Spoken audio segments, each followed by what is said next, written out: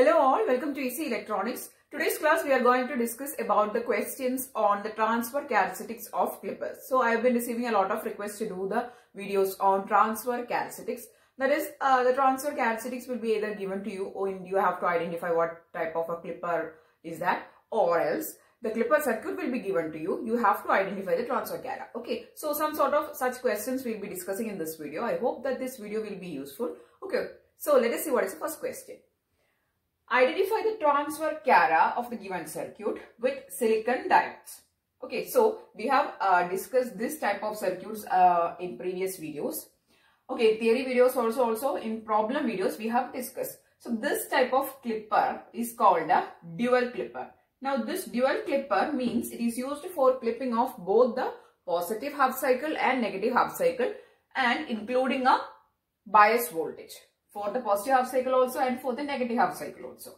And since this is a shunt type of clipper, see the diodes are connected in parallel connection and, and when the diodes are in parallel connection, it is called a shunt clipper. Otherwise, it is called a series clipper. All these things we have discussed in the uh, theory videos of clippers. Okay. So anyway, this is a dual clipper and it is used for clipping of positive and negative half cycle. So how will be the output of this waveform looking like? That is uh, output of this circuit looking like. During the positive half cycle, a sine wave of 20 volt peak to peak is being given, right? So during the positive half cycle, what is happening? During the positive half cycle of the input Vi, the Vi is trying to make the diode as this diode, let this be D1 is trying to make the diode as forward bias but due to the presence of this 3 volt voltage source the diode will get reverse bias and also there is a voltage drop of 0.7 so this type of problem also we have discussed during the forward bias condition of this diode this diode will be looking like this just like a voltage source again a bias voltage is connected so when the diode is forward bias this branch will have a 0.7 since it is a silicon diode. The drop voltage or the built-in voltage is 0.7 and also there is a 3 volt. Right. So, when Vi is greater than this much of voltage that is 3 plus 0.7 the diode will get actually forward bias. See during the positive cycle the wave is positive. The input wave is positive. Also, your diode is connected in such a way that positive and then cathode. Positive and negative. So, it will, the Vi is actually trying to make the diode as forward bias. But this bias voltage is trying to make it as reverse bias and also there is a voltage drop. So, total 3.7 volt is needed to break this barrier to actually make the diode as forward bias. And also, since the diode is in shunt connection, our favorable condition is reverse bias. Otherwise, if the diode is forward bias, it will go to the, the input will go to the ground, though that is the case. And when the diode is reverse bias or till the moment is reverse bias, we will get our output waveform. Okay. So, what will be the output waveform during the positive half cycle? Till 3.7, you will get your output waveform. So this is your V out. Okay. So this is the case for the positive half cycle. Similarly, during the negative half cycle, same case is happening. And for the negative half cycle, here also 3 volt is applied and there is again a built-in potential of 0.7. So, the diode has to be reverse biased to get our output. If the diode is getting forward bias or the moment the diode gets forward bias, clipping will actually start. So, this is your output waveform for the negative half cycle. So, if you are not very thorough with how the waveform is coming, please do watch the video on either the theory video or the problem video. I have done a simple video on uh, problems of clippers. I have explained how the waveform is coming. So, this is the output of for a double clipper. Now, how the transfer chara of the double clip clipper will look like? It will be having a a part in the positive side which is clipped off and negative side also clipped off. Okay, so this will be happening or the clipping will happening at 3.7 and here also minus 3.7. This is actually the transfer chara of this circuit. Now let us look into the option. which option is having the correct transfer chara. Option A is having a minus 3.7 but it is not having any waveform during the positive quadrant of the graph. So option A is not correct. Option B is exactly the transfer chara of this dual clipper. Okay, so it is the correct answer. Option C also is not.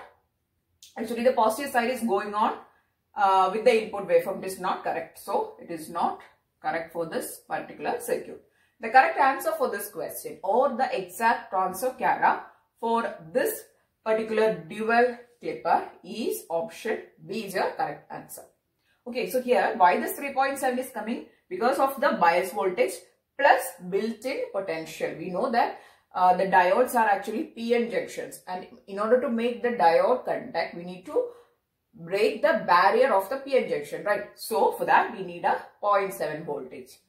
Uh, so that is why they have been specifically given that these diodes are silicon diodes. I hope this question is clear. The next question that we are going to discuss today is this. What is the value of Vi for the transfer chara in the below figure for silicon diode use? Again, we are going for a practical diode consideration because if it was a silicon, uh, sorry, if it was an ideal diode, it, were, it won't be given in the question that consider it is a silicon diode or consider it is a germanium diode. In the question if it is given like that that is if it is given like a silicon diode means they are telling us to consider the built-in potential also. Okay that is why they are specifically giving the type of diode used.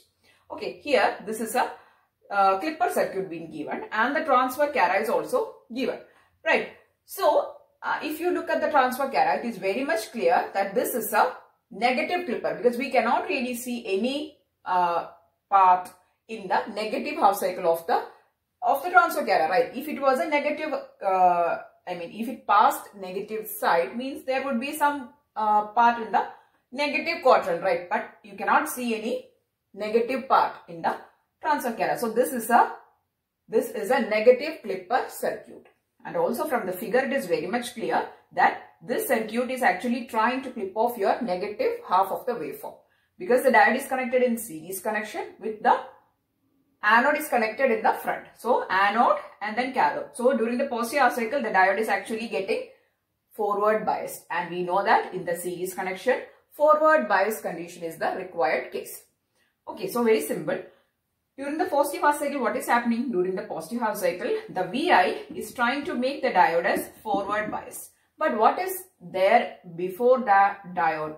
There is a 5 volt and the 5 volt is connected in such a way that it is making the diode as reverse bias. So, this 5 volt has to be overcome in order to actually make the diode as forward bias, right? So, even though Vi is trying to make the diode as forward bias, we need a 5 volt extra because the 5 volt is there to make the diode as reverse bias. So, we have to overcome it. And also, since it is given in the question that silicon diode is being used, there is a built-in potential right here. So when the diode is getting forward bias, there is a built-in potential, right? So this built-in potential, which is 0.7, is also there.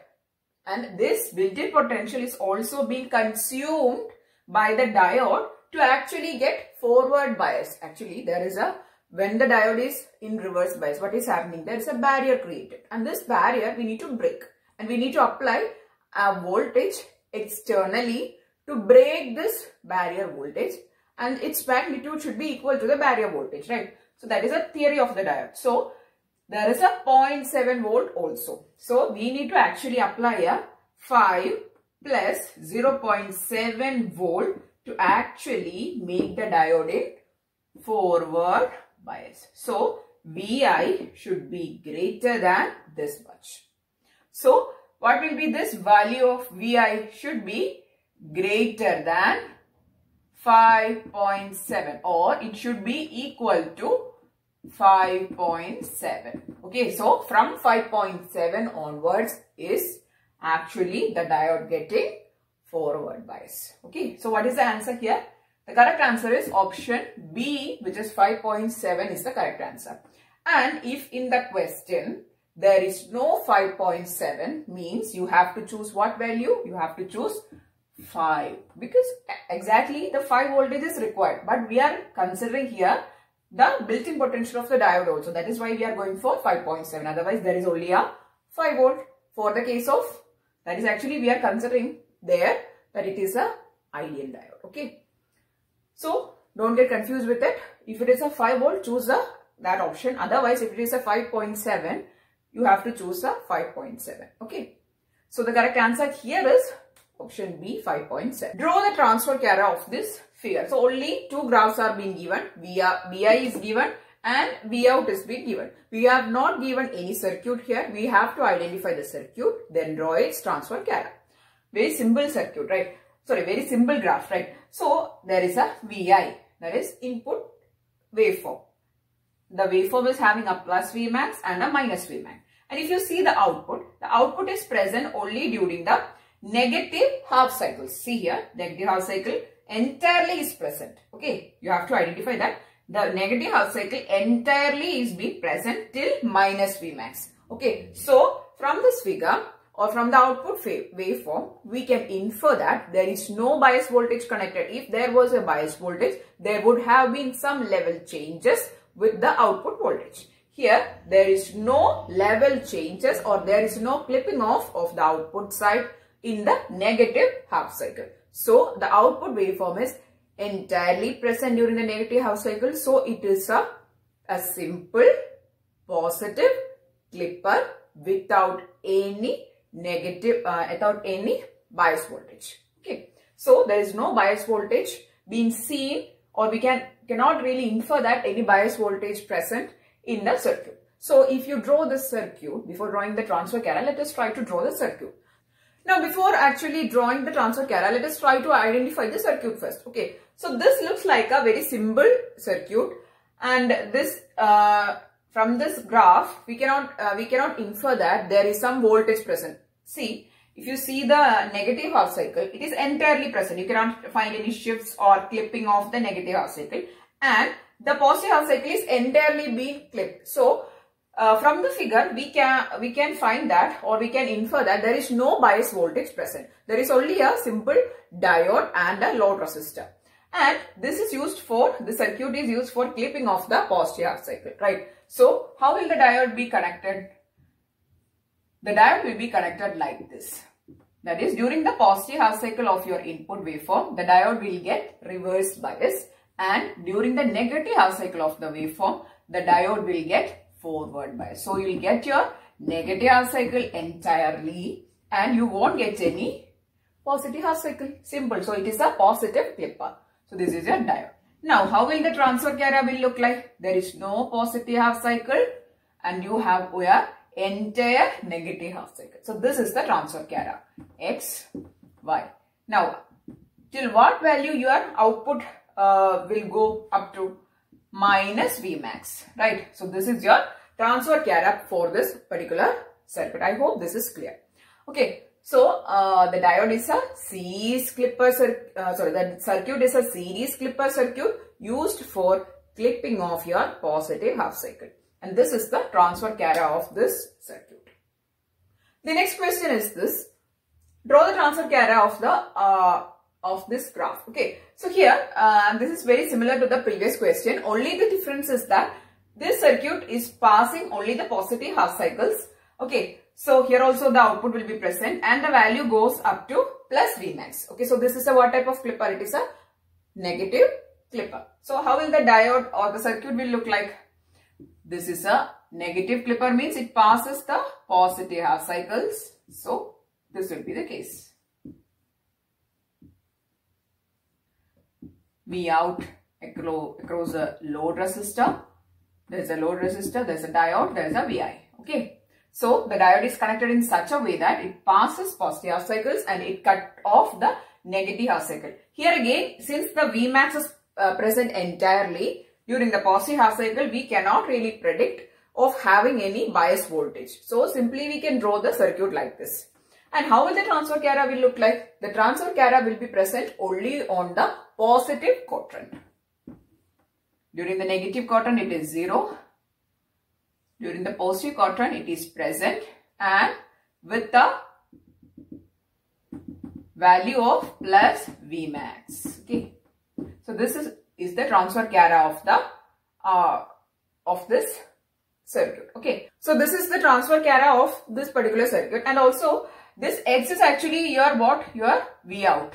And this is your VI. Okay. You are drawing the transfer chara with V out and VI. In all the previous transfer charas also I have explained as uh, X and Y. I'm just uh, simply drawing the transfer chara. Actually you have to draw between your V out and VI. So you are actually drawing the transfer characteristics of your V out. Okay, so it is a V out and VI. So please do correct that X and Y with V out and VI. Okay, so this is the transfer chara of a negative clipper since it is clipping off the negative half cycles entirely and hence the value is 0 and for Vi greater than 0 your V out will be present and it will be going up to plus Vmax.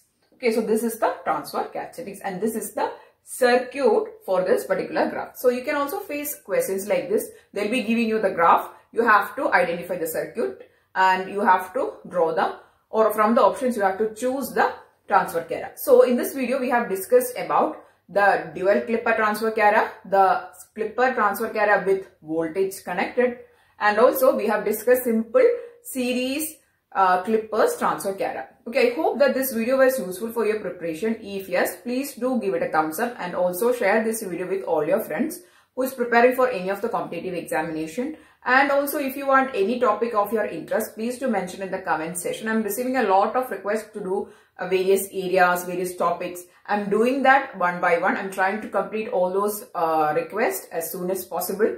Okay, I hope that uh, this video was helpful. If yes, please do share this video with all your friends as I said earlier. Okay, and if you want more videos, please do subscribe to the channel. Thank you.